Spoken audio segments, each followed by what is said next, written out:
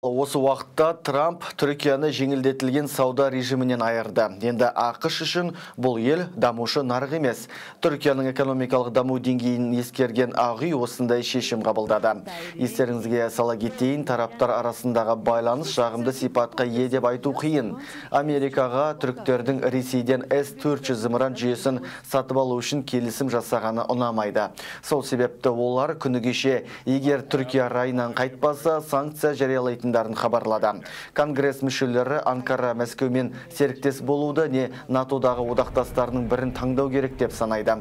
Олай болмаса бұл ел F-35 бағдарламасынан шығарылады.